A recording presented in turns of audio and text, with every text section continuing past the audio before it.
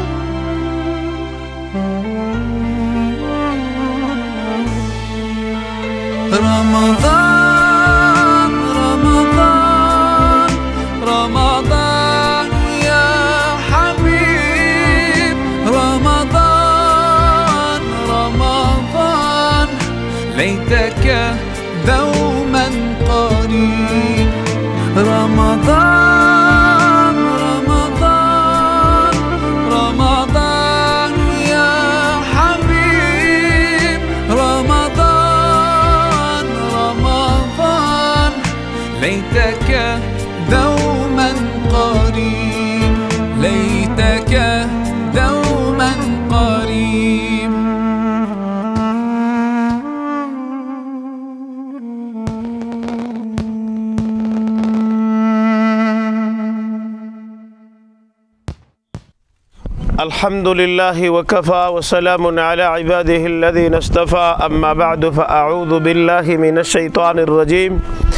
بسم الله الرحمن الرحيم إنما الصدقات للفقراء والمساكين الآية زما محترمو مسلمانانو رونو اولا تحفه نبوي پیش کوم السلام علیکم ورحمت الله وبرکاته ثانیا من چنن د لغمان ولایت د قرغیو لسوالۍ د عزیز خان کس د مهاجرینو شارک ته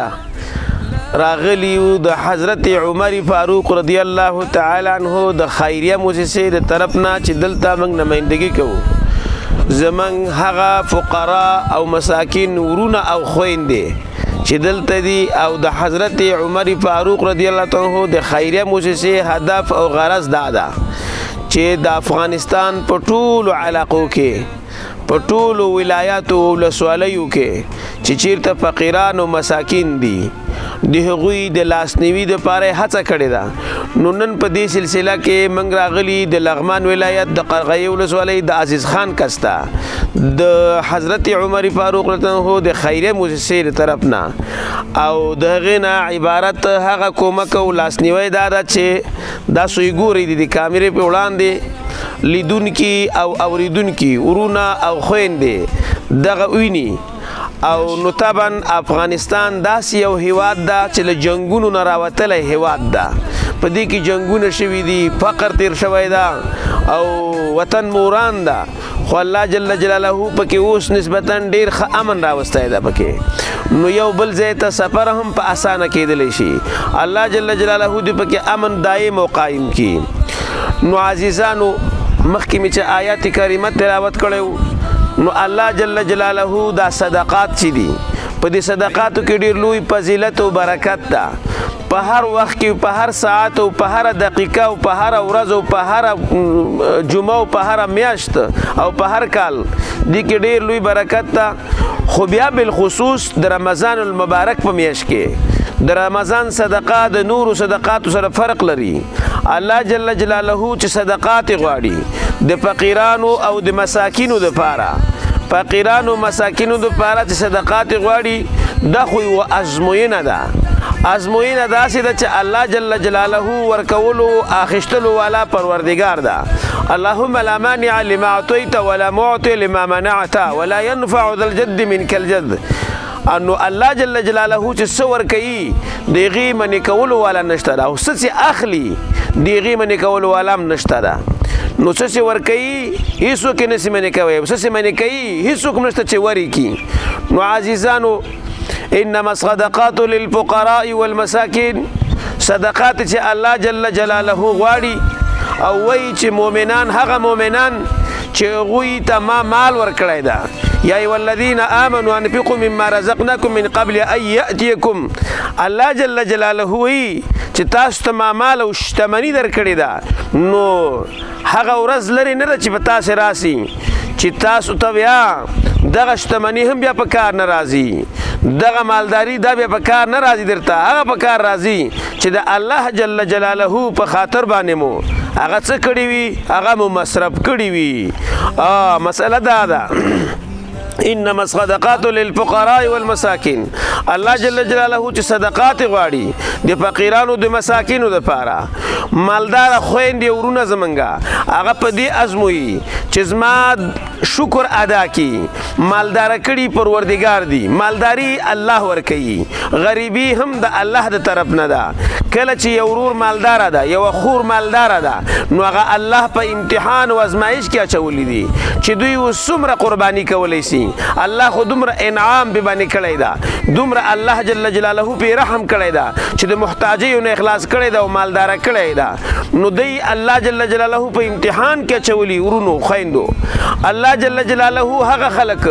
چې هغه فقیران دي او مساکین دي دي ته ضرورت ده الله جل جلاله د فقیرانو د مساکینو د پاره چې صدقات غواړي هغه زمون فقیر او مسکین ورونو او خويندې چې دي هغه الله په دې امتحان کې چولی دي چې دوی په دې فقر باندې دوی څومره صبر کوي څومره صبر کولای شي ګوري الله جل جلاله صابر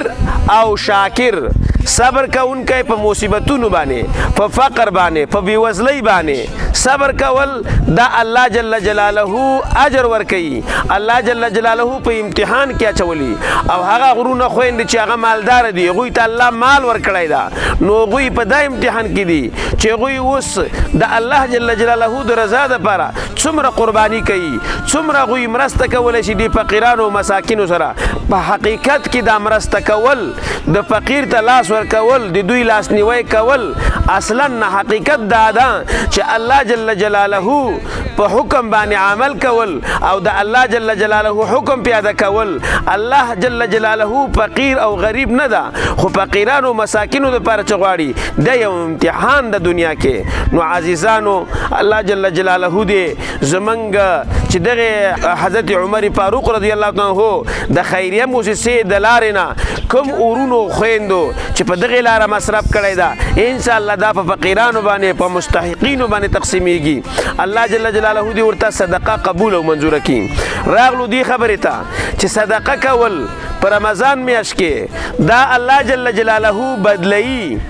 یو په اویاو باندې الله جل جلاله نفلی صدقات نفلی عبادت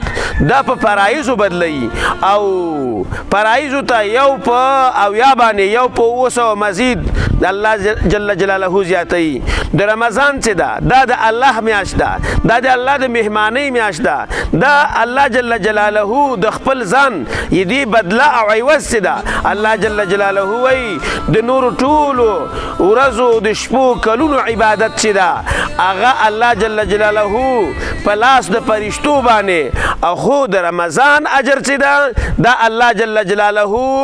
په خپل ور کوي نو میاش د رمضان چې د ټول عبادتونه د خدای د رضا لپاره دي خو رمضان داسې و میاشت ده چې دا هغه نسبت د قران عظیم شان سره ده قران عظیم شان شهر رمضان الذي انزل فيه القران دا هغه میاشت ده چې الله هغه بهترین کتاب نه ختمیدون کې کتاب تر قیامت تراتلو پورې چې بل کتاب دین ورسته ناراضي لا نبی بعد بل نبی ناراضي دا په هغه نبی باندې نازل شوی کتاب هغه په دغه میاشت کې نازل شوی دا د برکت او دا د رحمت او د مغفرت او د جهنم نه د خلاصېدو میاشت ده نو په دې میاشت کې صدقه کول دا ډېر یو لوی او عظیم اجر ده او دې کې ډېر لوی برکت ده صدقه کول داسې یو شی ده چې د الله جل جلاله په صدقاتو باندې په ټول کال کې خو صدقاتو باندې د الله جل جلاله قهر او غصه په باندې سړيږي مرزونه مصیبتونه پیلري کیږي او دا وجه ده چې الله پې رضا کېږي او دویمه وجه دا ده چې زمونږ هغه ورونه او خویندې چې د هغوی ضرورت دی ته هغوی خوشحالېږي نو کله چې فقیر او مسکین خوشحاله سو کله چې فقیر او مسکین په خندا شو نو الله جل جلاله خوشحاله سو نو الله جل جلاله په دین باندې عمل کول او په دې باندې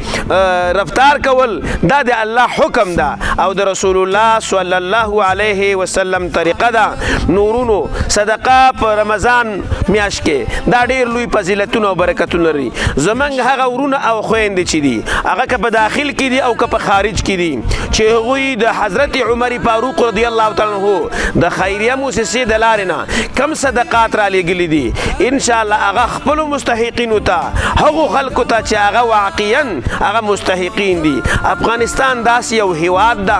دا یو مجاهد پروره علم پروره دا داس یو هیواد ده چې په دې کې ډیر جنگونه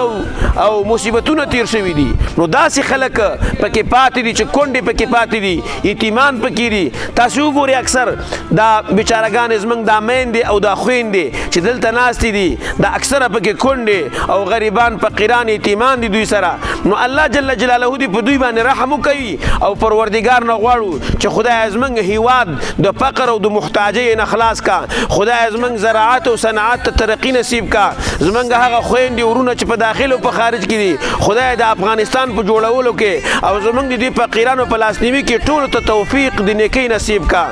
ومن الله توفیق تشکری میکنیم از این مؤسسه محترم که هر سال به مثل مسکینا فقیرا مواد خوراکه در ماه مبارک رمضان میارن چنانچه که مولوی صاحب محترم تشریحات زیاد کرد ما خود چیزی گفتنم نداشتیم فقط اظهار تشکری میکنیم خداوند عالم خیر و برکت سعادت نصیب جان کنه ای فضل خداست که اینی مسجد به برادرها که به چشم سر دیدن از طریق از این مردم است خداوند دنیا و آخرت تجارت خوب کنه مؤسسه امر فاروق مسجد هم فضل خدا بسیار بهترین مسجد جور کردن اینطوری کمکایشان در به هر ماه مبارک رمضان میرسه به مسکینا فقیرا خداوند عالم حافظ و ناصر نگاوان هم کل ما و شما باشه خداوند عالم مردم خیر و برکت سعادت نصیب کنه کسایی که تکلیف زحمت میکشن میادن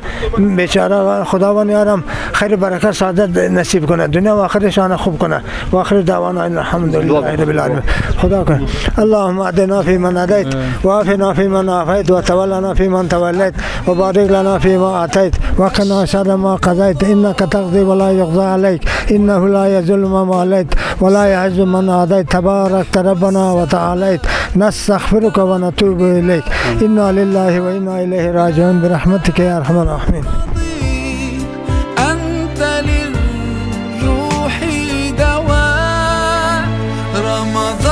السلام علیکم ورحمت الله وبرکاته زما محترم ورور ستاسو اسم مبارک عبدالواحد دا عبدالواحد خپل ځان معرفي کته او من چنن د حضرت عمر فاروق رضی الله د خیریه موسسې تر طرف نه د لغمان ولایت د قرغی ولسوالۍ د عزیز خان کڅ د مهاجرینو شارک ته راغلی یو او دغه حضرت عمر فاروق رضی الله د خیره موسسې نمائندګي کوو نو تاسو د حضرت عمر فاروق رضی الله خیره موسسې هر کال د رمضان میاشت کې او داسې کومکونه سره شوي دي عبد الواحد عبد الحزوی د قرغوی ولسوالي ادیس خان کس اوسیدونکي د عمر فاروق رضا خیر بنسټ کال به کال مثال روژه په روژه کې کومک کیږي مثال موږ ته تر شکوري کور نه ډېر مننه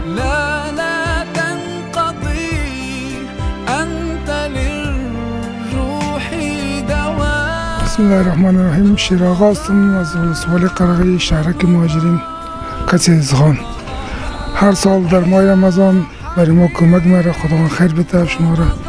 آقای جان تشکر میکنم از مؤسسه خیره عمر فاروق که دیگه مردم غریب است بیچاره است و برای مردم میبینه کلی نمی سیاسر هستن بیواز کلش دیگه کار و بار نیست کلی مردم مجبور است او خدا شما رو خیر بکنه انشالله خوب میشه کرد آینده هم برای مردم کمک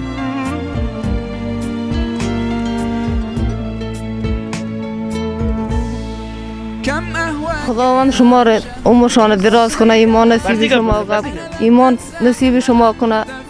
ما بیگا بیچار هستیم داغ سرخکان افتادگی هستیم هیچ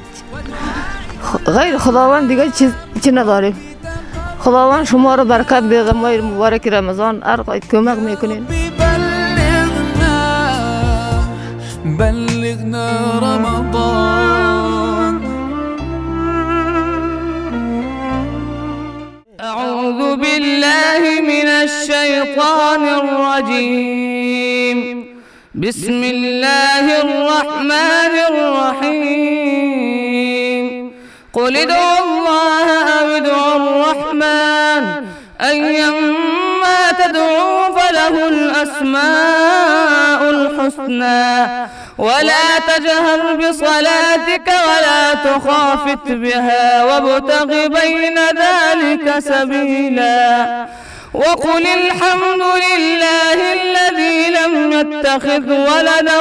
ولم يكن له ولم يكن له شريك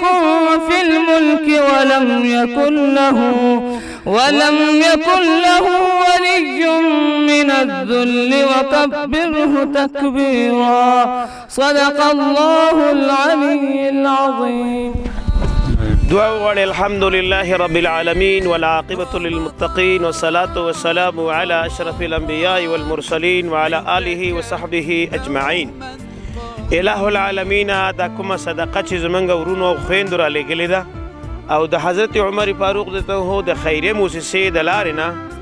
او هغه فقیران او مساکین او زمنګا کونډې او رنډې خوین دلته په لغمان کې وي د عزیز خان کسه او د مهاجرینو شارک کې او هغه ورونه چې هغه فقیران او مساکین هغوی ته مو تسلیم کړله الله دې ورته قبول او منزور کا خدای رب کریم مال کې په عمر کې په اولادونو کې ورته برکتونه واچوا خدای زمنګا هغه ورونه او خوین دې چې په داخله او په خارج کې دي او د غوي وسرسيږي خدای هغه ټول ته توفیق په دغه لار باندې د عمل کولو نصیب کا خدای ټول نه موږ رضا سا او زموږ د محترم اجي صاحب مریض د خدای ته تم صحت نصیب کا رب کریم دنیا او آخرت موږ ټول ته بالخصوص د صدقه چاره لګلې ده د حضرت عمر فاروق رضی الله د خیریه موسسې طرف نه هغه ډیر محترم سړی ده چې هغه وایي چې زما نام نوم بم نه اخلي خدای پاک دې ورته صدقه قبول او منزور کړي وصلی الله تعالی علی خیر خلقه محمد وعلى آله وصحبه اجمعین برحمتک یا ارحم الراحمین